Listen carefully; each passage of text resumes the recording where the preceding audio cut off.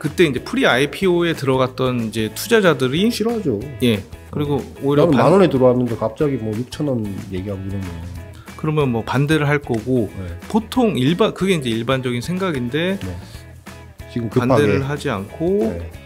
또뭐 이런 단가에도 상장을 빨리 하자 네. 뭐 동의를 한 걸 보면 음, 좀뭐 이례적으로 볼 수 있습니다.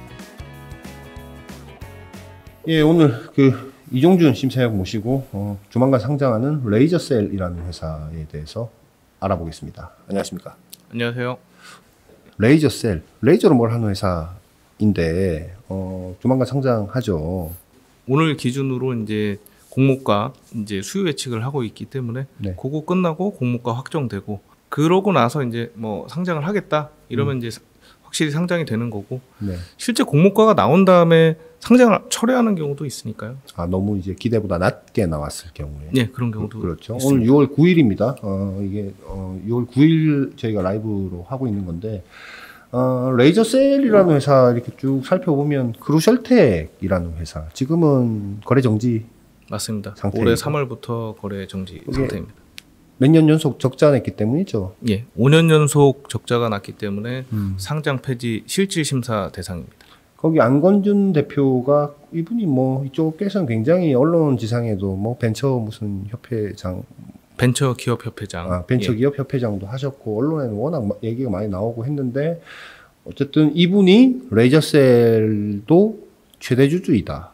예, 창업도 하셨고 그리고 현재도 최대 주주입니다. 그렇죠. 창업을 했는데 이 회사는 지금 몇 년도에 설립이 됐습니까? 2015년입니다. 2015년. 지금 2022년이니까 꽤 그래도 업력이 되었네요. 한 8년 정도. 예, 뭐 7년, 8년. 예. 어, 뭐 만드는 회사입니까? 음, 일단 레이저를 활용한 장비를 만듭니다. 그러면 레이저를 활용한 장비는 어떤 시장에 판매가 될 수 있습니까? 어, 레이저 셀 같은 경우에는 이제 자신들이 이제 가고자 하는 방향은 네. 반도체 패키징 장비 네. 이쪽 방향이고 현재 지금 매출이 나는 거는 디스플레이 쪽에서도 매출이 나고 있고 네. 2차 전지 쪽에서도 매출이 나고 있습니다. 일부 이제 테스트 장비 쪽으로도 테스트 장비라기보다 이제 테스트 할때 쓰이는 예, 필요한 부품을 이제 웨이퍼에 붙이는 음, 붙일 때 이제 bonding 장 bonding 할 때 쓰는 장비로 매출이 나고 있습니다. 그러니까 probe card에 어떤 만들 때 쓰는 그렇습니다. 어, 장비고 레이저로 하여튼 뭘 붙인다. 기- 그게 뭐 디스플레이가 됐든 2차 전지가 됐든 반도체가 됐든 네. 다 공통적인 원리가 그렇습니다. bonding한다, 뭐 그렇습니다. 붙인다라는 것인데 지금 이제 어, 매출 아까 얘기하셨는데 이 회사 지금 실적 그렇게 안 좋죠.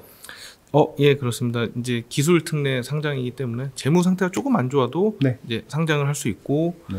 어, 매출에 대해서 제가 말씀을 드리면은 이제 3년 동안 매출이 늘긴 늘었습니다. 네. 2019년에 28억 원, 20, 2020년에 39억 원, 그리고 작년에 97억 원 이렇게입니다. 97억 원 예. 작년에. 그래도 많이 늘었네요. 늘기는. 근데 이제 영업이익이 난 적은 없고 네. 다 이제 뭐 아까 이제 말씀드렸던 3개년을 이제 순차적으로 말씀드리면 37억 원, 네. 19억 원, 작년에 이제 80억 원 영업 손실이 났습니다. 반도체, 디스플레이, 배터리 그리고 반도체 테스트에 활용되는 probe card 생산에 활- 생산할 때 뭔가를 bonding하는 레이저 장비를 만든다인데 지금 매출이 높은 순서부터 한번 얘기를 한번 해주시죠. 어디가 매출이 제일 높습니까? 이제 디스플레이 네. 그러니까 미니 LED rework 장비 미니 LED backlight를 다- backlight에서 그 rework을 한다는 거죠. 그렇습니다. 백라이트에 이제 미니 LED가 들어가는데 미니 LED가 워낙 작고 좀 많이 들어가다 보니까 그러면 이제 붙일 때 조금 불량이 나는 경우들이 있고 붙일 때 보통 우리가 납땜 우리가 시- 흔히 네. 이제 그게 그걸 사용해서 이제 붙일 텐데 그걸 녹여서 미니 LED를 떼고 이제 수리를 하게 되는 거죠. 그러니까 리워크한다. 하여튼 뭐 불량난 부분들은 그걸로 이렇게 좀 이렇게 하는 거가 그게 제일 많습니까 매출이? 예. 작년 같은 경우도 매출 한 절반 정도가 그 장비에서 나왔습니다. 음, 90억 매출했으니까 45억 정도는 거기서 났다. 두 번 다음은 어디서 났습니까? 그 이제 두 번째 매출은 거의 비슷비슷한데 네. 음, 올해 1분기까지 이제 매출이 나는 거는 네. 이제 probe card를 붙일 때 probe 아니, card probe card에 핀을 붙일 때 예. 쓰는 거죠. 네. 예. 네. 뭐 bonding 장비 네. 그쪽에서 이제 매출이 났고 국내 이제 probe card 제조 회사인 TSE 쪽으로 납품이 됐습니다. 음, 배터리도 역시나 뭐 원리가 대동소이합니다. 2차 전지 이제 파우치 형 2차 전지 이제 웰딩 그러니까 이렇게 있고 재료를 집어넣고 나서 뭔가 하여튼 마무리할 때 뭘 붙여서 재료가 안 새게 해야 되니까 그렇습니다. 그거 용접할 때 이제 레이저를 예, 예. 쓰는 걸로 거기는 뭐 LG 쪽인 걸로 저는 이제 저희는 파악하고 있는데 어 그쪽에 일부 넣고 있고 해서 매출이 네. 90억이군요. 그렇습니다. 그 다음은 패키지는요. 뭐 종합 반도체 회사의 패키지 공정에 들어가는 장비는 현재까지는 없는 것으로 파악이 음. 되고 있습니다. 여기 뭐, 감, 뭐, 저기 증권신고서 이런 데도 안 나와 있죠? 매출이라는 게 뭐 실제 뭐 양산 라인에 들어가서 쓰이고 있을 때 또 매출이 나는 거지만 네. 뭐 여러 가지 뭐 샘플이라든지 등등등에서도 매출이 날 수는 있기 때문에 네. 근데 그렇게 봤을 때도 뭐 어떤 확 눈에 띄는 이렇다 없었다. 예 어. 근데 언론상에 이제 레이저쎌이라고 이렇게 네이버에서 쳐보면요. 굉장히 기사들이 많이 나와 있어요. 뭔가 반도체, 후공정, 패키지 분야에서 이게 뭐 결국은 이제 packaging에서 레이저를 써서 bonding을 하겠다라는 것은 기존에는 우리가 어, 기판하고 그 웨이퍼에 잘라져, 잘라져 나온 칩을, die를 붙일 때는 과거에 좀 널널할 때는 뭐 reflow 장비 그 외에 그 호텔 같은 데서 조식 먹으러 가보면 빵, 빵 굽는 기계 같은 거에 이렇게 탁 놓으면 돌돌돌돌 들어가서 탁 구워져서 나오잖아요. 뭐 그런 reflow 장비를 활용했는데 제가는 그러니까 열을 통해서 이제 그 부분을 녹이는 거죠. 그렇죠. 예. 예. 볼을 이제 예, 녹여서 solder ball이라고 예, 보통 하는 납땜을 이제 그런 식으로 네. 이제 하게 되는 건데 요즘 이제 워낙 이제 미세화되고 입출력도 많아지고 볼 개수도 많아지고 볼 크기도 작아지고 또 기판 자체 칩 기판 자체도 얇아지고 하니까 그렇게 넣었을 때이 뭔가 휘어진다거나 문- 네. 문제가 생길 수 있어서 레이저로 그거를 좀 대처하겠다라고 하는 움직임들이. 좀 더 정밀해지는 방향인 거죠. 네, 예. 그래서 여기서 무슨 제가 뭐 이렇게 면 레이저 기술이라고 얘기하는데 저는 사실 무슨 말인지 잘 모르겠거든요. 뭐 저도 그렇게 이렇게 막 와닿지는 않습니다. 어, 뭐 언론에 나온 다른 언론에 나온 이제 보도 기사를 봐도 면 레이저 기술 예. 무슨 말인지 잘, 잘 모르겠는데 어쨌든 핵심은 레이저로 이렇게 와피지 없이 정밀하게 bonding을 하겠다라는 건데 아직은 실적이 없다. 예. 그렇다고 뭐 이해를 아예 못한다는 건 아니고 이제 네. 이쪽에서 설명해서 네. 설명하는 건 이제 레이저를 이제 점으로 포인트가 쏴지니까 네. 그거를 이제 면을 넓게 편다는 건데 네. 조금 의아한 부분은 그, 그렇게 했을 때 어떤 커다란 장점이 무엇이냐에 음. 대해서는 뭐 납득이 뭐뭐 그냥 뭐- 명쾌하게 되진 않는다. 뭐, 예, 그렇습니다. 어쨌든 레이저를 활용해서 빠르게 손상 없이 와피지 없이 그러니까 휘어짐 없이 이제 붙일 수 있는 장비. 사실 저희가 이거 이 내용을 왜 하냐면 왜 하냐면요. 그 경쟁사도 뭐 일부 있고 그 이름 얘기하기 그렇지만 음, 일부 있고 레이저셀이라는 회사의 어떤 초기에 설립될 때 주축이 되었던 엔지니어들은 그 K사라고 있는데 그 K사 소속이었던 엔지니어들이 주축이 되어서 이런 거 만들어 봅시다 해서 만든 어 뭐 기술 장비였던 것으로 저희는 파악하고 있는데 그분들 다 나갔고요. 어 그래서 이오테크닉스라는 회사 뭐 그거는 어 증권신고서에도 나와 있으니까 그쪽 출신들이 와서 기술을 이제 담당을 하고 있는데 어 처음에 주축이 됐던 엔지니어들이 이제 나가서 다른 뭐 비슷한 장비를 하는 회사들로 갔기 때문에 어, 당시만 하더라도 갔, 갔을 때만 하더라도 저희 뭐잘 개발이 될 수 있을 것이냐 했는데 어쨌든 뭐 다른 뭐 배- 반도체 패키징 쪽은 아니더라도 뭐 미니 LED나 뭐 이런 따- 다른 레이저를 활용하는 애플리케이션 쪽으로는 일부 장비를 넣고 있고 뭐 적잖은 대규모로 내고 있긴 하지만 뭐 성과를 내고 있어서 어뭐 그리고 성장 예. 네. 미니 LED rework 할 때는 보통 이제 디스플레이 쪽에서도 rework 할 때 레이저를 많이 쓰는데 네. 뭐 미니 LED라고 해서 원리가 크게 달라지진 않고 이거를 예전부터 잘했던 회사들도 있긴 있습니다. 그러니까요. 그래서 이제 probe 장비, probe card에도 어쨌든 핀이 이제 다 에, 올라가야 되니까 그걸 레이저로 하는 것 같은데 사실은 이제 어, 패키징 쪽이 좀 터져야 회사의 어떤 어, 가치가 확 올라가지 않을까라는 생각이 드는데 패키징 쪽이라고 하면 우리가 소위 말하는 뭐 종합적인 오사트라고 하죠. 뭐, 뭐 엠코라든지 뭐 칩팩이라든지 이런 쪽이 좀 대규모로 들어가야 돈이 좀 될 텐데 기술력도 인정받는 것일 그렇죠. 테고요. 아직은 뭐 그런 소식은 없고 미니 LED 텔레비전, 미니 LED backlight 텔레비전이 어느 어, 얼마나 존속이 될지 사실은 텔레비전 시장도 너무 이제 확확 바뀌고 있기 때문에 이 시장이 계속 갈 거다라는 거는 뭐 결국은 다 자발광 소자로 가지 않겠습니까? 뭐 꽤 시간이 흐른 뒤에는 네. 그리고 배터리 쪽은 뭐 기대가 될 수도 있을 것 같기는 하고 또 probe card 쪽도 이것은 이제 뭐 아주 메이저 시장은 아니고 niche market인데 뭐 약간 작년에 조금 성과가 좋았어도 어, 음, 작년에 나온 성과가 올해도 그대로 나올 수 있을지는 사실 좀 미지수인데 근데 제가 이제 보도나 이런 것들을 보다 보면 하, 무슨 pre IPO 투자 단가보다도 우리가 싸게 어, 공모를 한다. 왜 그러는 거죠? 아니 보통은 그렇게 싸게 안 하잖아요. 상장을 좀 빨리 해야 하는 뭐 어떤 필요가 있지 않나 이렇게 보고 있습니다. 여기가 지금 투자도 많이 받고 저뭐 상환전환 우선주 RCPS로 이제 투자도 받았는데 이게 지금 어 뭐 전환이 됐죠 주식으로. 예, 근데 이- 리픽싱이 좀 됐잖아요. 그렇습니다. 애초 단가가 얼마였습니까? 원래 주당 단가, 인수 단가가. 음, 이 레이저 셀 같은 경우에 이제 전환 상환 우선주 RC, RCPS라고 하죠. 네. 요거를 뭐 여러 차례 발행을 했는데 네. 이제 처음 발행을 했을 때인 2017년 8월 네. 발행 분에 대해서 이제 말씀을 드리는 겁니다. 네. 그 당시에 이제 주당 인수 단가가 5,670원이었고 네. 음. 한데 작년 말에 음. 이제 이걸 이제 보통주로 이제 전환을 했습니다. 네. 전환을 할 때는 주당 인수 이제 단가가 3,140원으 로 바뀌었기 때문에 한40% 이상 깎인 거 아닙니까? 그렇습니다. 왜 깎인 거예요? 어, 요 이제 애초에 이제 RCPS를 발행할 때부터 이제 옵션이 있었는데 그 네. 옵션에 따라서 이제 깎인 거고 그 옵션이란 건 결국 뭐 매출액이 일정 부분에 도달했냐 혹은 못했냐로 이제 주당 단가가 전환될 때 주당 단가가 이제 정해지는 거죠. 재조정 됐는데 뭐 재조정 된 이유가 처음에 생각했던 것보다는 매출 낮아서 그렇습니다. 투자하는 회사들 많죠.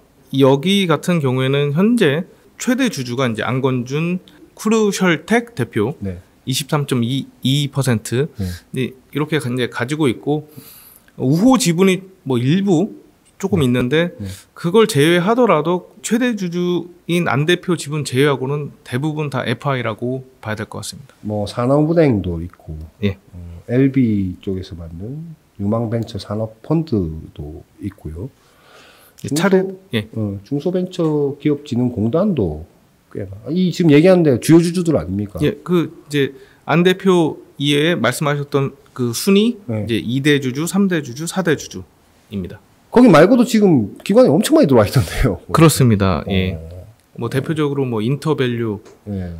또 들어가 있고요. 어, 어, refixing에서 40% 이상 깎였고 또 뭐 언론에 나와서 뭐 얘기하기로는 뭐 상장 전인 pre IPO 투자 단가보다도 우리가 낮게 한다. 그 이유는 지금이 상장의 적기라고 판단했다라고 얘기하는데 저는 좀 이해가 안 돼요. 왜 이렇게 급하게 하는지에 대해서. 뭐 이렇게 급하게 하는 거에 대한 이유 뭐 당연히 있겠죠. 기존에 기 투자했던 투자자들의 아우성이 좀 있지 않았을까라는 생각도 좀 드는데. 그것도 그뭐 가능성 높은 네. 이유 중에 하나이겠죠. 아니 지금 여기 지금 상장 지금 상장 밸류는 얼마 정도인 거예요? 상장 밸류는 한 천억 원 정도입니다. 그 시장 가치로 봤을 공모 단가 그 이 이 밴드가 지금 나와 있죠. 예. 얼마에서 얼마입니까? 때 12,000원에서 네. 14,000원입니다. 그러니까 14,000원 상단을 가도 예. pre IPO 때보다 낮, 낮은 value다라는 거잖아요. 어, 그렇게 될 것 같습니다. 상장하고 나서는 어떨 것 같아요? 주가의 어떤 방향성에 대해서. 어, 그걸 제가 이제 만약에 이제 알게 되면은 네. 뭐 너무 좋겠지만 예. 어, 유통 물량이 많습니까? 이제 추정을 네, 할수 있는 있을 때 여기가 유- 상대적으로 유통 물량이 좀 많은 편입니다. 네. 그러니까? 상장 직후에 유통 가능 주식 비율이 44%가 됩니다. 어. 그러니까 이제 상장할 때 이제 공모를 하지 않습니까? 네. 그 공모할 때 이제 주식 지분이 한 19% 정도 네. 그리고 기존 주주 그 기존 주주라고 하면 대부분이 FI 투자자, 재무 투자자 네. 요 사람들이 25% 네. 이제 둘이 합쳐서 이제 44%입니다. 지금 크루셜텍이라는 회사는 굉장히 어려운 상황에 빠져 있고요. 뭐, 뭐 폐지되지 않겠습니까 지금? 예, 아, 개선 계획서를 뭐 내고 있고 그거는 이제 거래소에서 네. 아마도 판단을 내릴 텐데 거래소 같은 경우 뭐 조금 그래도 기존에 뭐 여러 가지 사유들이 발생했을 때도 뭐좀 개선의 시간을 좀 주는 경우도 덜어 있어서 그 네. 예. 그것도 좀 살펴봐야 되는 것 같지만 어쨌든 회사 사장은 되게 안 좋고 근데 레이저셀 레이저셀은 작년까지 안건준 최대 주주가 2021년까지 어, 레이저셀 예, 그렇습니다. 예, 대표였고 지금은 대표하시는 분이 누구예요? 지금은 이제 최재준 대표인데 그분 출신이 어디입니까? 예, 이분도 크루셜텍의 임원 출신입니다. 레이저셀의 지금 전체적인 그 자금을 관리하는 CFO가 있을 텐데 예. 누굽니까? CFO 같은 경우도 크루셜텍에서 한 10년 근무하시고 작년에 합류했습니다. 대부분 크루셜텍 출신들이 이걸로 많이 넘어와 있네요. 최대 주주 그리고 CEO 네. 그리고 CFO까지면 거의 회사의 굉장히 중요한 요직을 차지하고 있다고 봐야 되겠죠. 우리가 그 자금 조달할 때 단계들이 있지 않습니까? 뭐 아주 시드 단계부터 뭐 첫 번째, 두 번째, 세 번째 뭐 그걸 뭐 시리즈 A, B, C 그다음 뭐 pre IPO 상장 뭐 하는데 보통은 후반으로 갈수록 value는 계속 높아지게 돼 있거든요. 어떤 그렇습니다. milestone을 달성해서 우리의 어떤 미래를 보여주고 자금을 조달하고 실제로 매출이 나고 뭐 특례 상장이 아니라 어, 정상적인 그냥 일반적으로 이제 어, 심사받아서 상장을 간다라고 하면 요건이 있잖아요. 매출 요건 뭐 여러 가지 요건들이 있는데 사실 어 밸류를 깎아서 이렇게 자금을 조달한다라는 것은 어 그렇게 어 매력적으로 보이지는 않는다라는 생각이 좀 드는군요. 일반적이지 않은 상황이지 않습니까? 그렇습니다. 밸류를 깎아서 그러니까 그렇게 되면 그때 이제 pre IPO에 들어갔던 이제 투자자들이 싫어하죠. 예 그리고 오히려 반, 만 원에 들어왔는데 갑자기 뭐 6천 원 얘기하고 이러면 그러면 뭐 반대를 할 거고 네. 보통 일반 그게 이제 일반적인 생각인데 네. 지금 급하게 반대를 하지 않고 네. 또뭐 이런 단가에도 상장을 빨리 하자 네. 뭐 동의를 한 걸 보면 음, 좀 뭐 이례적으로 볼 수 있습니다. 물렸다라고 생각할 수도 있겠다라는 생각도 좀 들겠는데요. 기투자자들은 음, 어쨌든 이제 여기 이제 네. 투자자들은 가지고 있, 있으면은 이제 현금화하는 방법이 뭐 상당- 많지 않다 보니까 그렇죠. 네. 근데 만약에 이제 상장을 하게 되면 그것은 이제 현금화하는 굉장히 좋은 방법이 생기는 거죠. 상장하고 나서 유통 물량이 몇 프로라고요? 상장하게 상장 직후에는 이제 44% 아까 어. 말씀 예, 44%인데 조금 뭐 근데 이제 이게 보유 보호 예수에 걸려 있기 때문에 네. 뭐 44%가 되는데 보호 예수가 그렇다고 뭐 엄청 길지가 않습니다. 네. 그러니까 상장 한달 뒤에는 네. 이제 기존 주, 주주가 보유한 지분 가운데 32% 네. 그러니까 전체 중에 32%가 추가로 풀리고 그러면 이제 하- 유통 가능 주식 수가 76%가 되는데 이 정도면 최대 주주 측 이제 지분의 합산분이 21% 정도 되니까 뭐 최대 주주를 제외하고는 거의 대부분이 이제 주식을 팔 수가 있는데 최대 주주를 제외한 나머지 주주들은 대부분 이제 투자사, 혹- FI들. 네, FI들이기 때문에 어떤 선택을 할지는 지켜봐야 되겠지만. 네, 여러 가지 개연성을 우리가 아, 생각을 할 수 있다. 어쨌든 결론적으로는 주력하겠다고 언론에 나와서 떠들고 자랑했던 반도체 패키지 쪽에서 뭐 또 큰 성과를 내면 또 회사가 어떻게 보면 어쨌든 실적이 나와야 회사의 주가도 올라가는 거니까요. 그렇죠. 이제 사람들이 뭐, 어, 이 회사가 미래 정말 성장 가치가 있다. 기술 특례 상장에 어떤 취지에 부합한다. 하면은 이 회사에 투자를 할 것이고, 네. 예, 하, 하는 분들이 계시겠죠. 그런데 이 회사가 직접 밝힌 올해의 매출 추정치를 봤을 때도 올해 같은 경우에 레이저셀이 올해 이제 매출 전망치가 이- 256억 원. 어, 256억 원. 예. 그리고 어. 흑자 전환도 어. 된다고 합니다. 야, 그게 추정- 된, 다라고. 하면은 주가 상승의 어떤 어, 저것도 있을 수 예. 있겠네요. 그래서 이 레이저셀이 추정하는 영업이익액은 42억 원. 42억 원. 그런데 음, 올해 이 레이저셀이 추정하는 이제 매출 구성에서도 가장 큰 비율을 차지하는 거는 미니 LED입니까? 예, 미니 LED rework 장비. 그러니까 이 회사가 이제 상장 지금 현재 하려고 할 때는 우리는 반도체 패키지 장비 회사다라고 음. 하지만 실제 매출은 디스플레이, 예. 백라이트 쪽에서 나온다.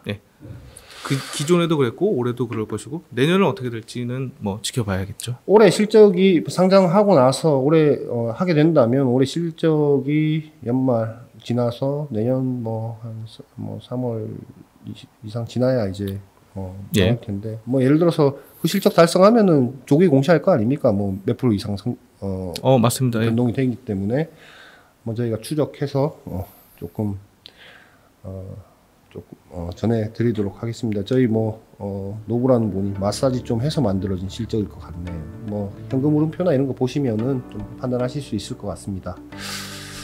오늘 여기까지 할까요? 예,